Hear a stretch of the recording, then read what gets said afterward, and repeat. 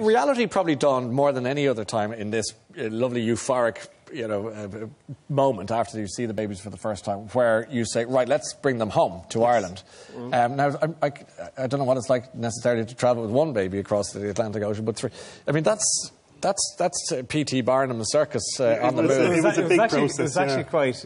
I mean, John organises everything. He's he's fantastic. He's the logistics he, he, he does all. He does everything. Okay, he does everything. I, I, I did the work. He does all that. All right, got it. but uh, but anyway, so we were we, we, were Alaskan on the flight. Yeah, yeah there's a shock. There's a shock. We had to feed the babies and change the babies, and they literally closed the doors as we got on. Get away. You know, and uh, they uh, Aer Lingus had the, the, the cardboard cots, you know, yes. and the three of them were laid laid up there and there was a queue down the plane for people to come up and see them because it's it ridiculous. just went around the plane. The captain came down no, to, the, to, have no, a look at these the babies. stewardess, she was a lovely girl. Mm. She came up and said, "Oh, what's the story?" And she said, "Oh," and what she realised it was two dads with three kids. And she yeah. came in, and who's are they? Uh, yeah. They're ours. Oh, oh, both dads. Yes, we're two dads with three kids. And, oh, I think she went down with a whistle, going. Two dads, three girls, two, two, two. Queers at the front, three kids swear to God, there's a queue. But Queue's on, back here. Like, on, you shit. must, you must have got so much, and still to an extent get a bit of that. But go back, actually, 15 years is only 2001. I mean, honestly, it feels like we're talking about the dark ages. Mm. But you must have got a lot of that. In fact, I know that you weren't long home when you did get a knock on the door that scared the jeepers out of you. Yeah, um, we actually we were away from from our uh, business for 10 weeks, so we had the staff over and we were catching up on, on news and gossip. At and, home? At home. Yeah.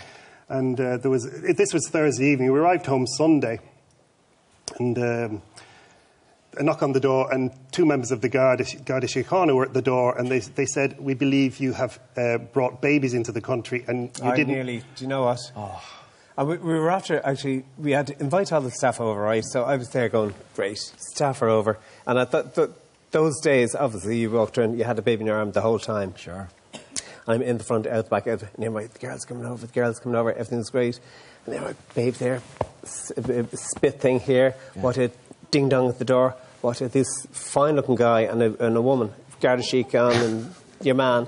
And they go, your attention to detail, who, I have to say, Gerard, is, uh, Who lives here? And I'm kind of going, me, and my, my partner, and, and who else? Three kids, yeah.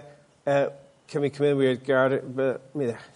Oh, you started, you started really getting nervous then, did you? I, I thought everything was going to just and fall it, apart. It well, what did you think was going to happen in your fears, in your biggest fear moment?